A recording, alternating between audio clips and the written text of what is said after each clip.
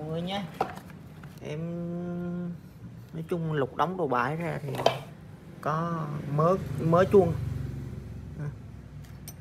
Chuông, xích này, xích 91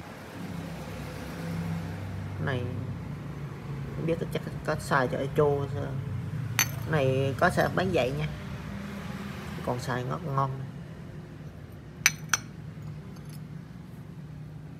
Ba mươi lăm này còn sợ được nha. Ba cái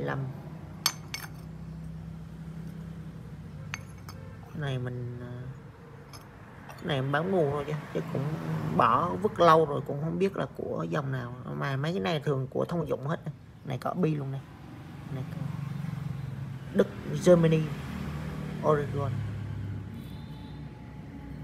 Made in Canada. Cái chuông Canada luôn này, biết xài cho cái này là xài nhông đồng tiền này. Về mình mua cái đồng tiền xích ờ, xích gì chạy cũng được này. Ờ, không biết của máy gì nữa.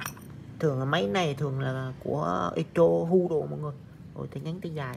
Này, nhỏ nhỏ này là thường tay tay ngắn tay dài này. Mini này. Cái này cũng có con xài ngon này.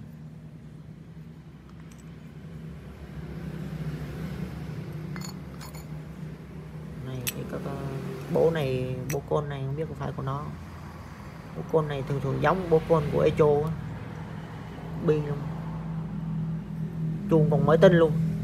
Cái chuông này giống như chưa dùng luôn này chưa có dấu dùng này chỉ qua là để không nó có ờ, ấy thôi, chứ còn thấy chưa có dấu dùng. Này biết phải nó, cái này cũng vậy nè. Cái này cũng chưa có dấu dùng luôn này có sao bán vậy nha?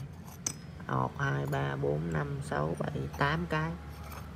8 cái này anh em nào làm nghề thì lấy nhé bán rồi bán hết luôn nha chứ em ngoái đâu. Rồi, 4 6 8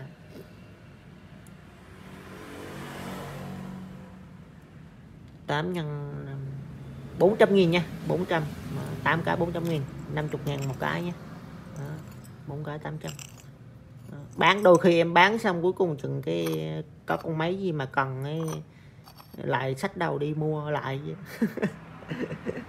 Mà tại vì dọn đóng đồ ra thôi bán để làm gì đâu.